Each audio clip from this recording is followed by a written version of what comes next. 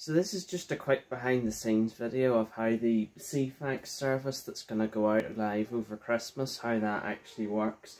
So there's sort of three main stages. There's the actual content generation first of all. That generates the actual pages, the actual news data, and it's the system that you can also browse, you know, the same way as you would a real teletext service, like so. Um, the next bit is the actual converting the teletext data into a picture, which we'll go over to the comms area for a look at. So this is the central comms area. Um, this is in the attic, as you can see. And the main thing that happens here is the teletext service, which you can see on this monitor if I roll it down. There is the actual vertical blanking interval. Um, but anyway, that goes into well, it goes through a couple of things. First of all, it goes through the distribution amplifier and the router, first of all.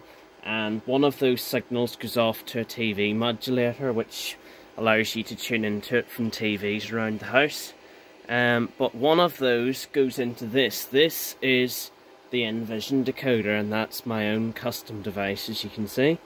And the video signal from that then goes into this. This is actually the end, the DVR for a security system, and that converts the video signal from the from the um, from the decoder into you know an, an internet signal, and that finally gets read in by the Odroid N2 up here, and that creates it into a YouTube stream, and that's what goes out to YouTube.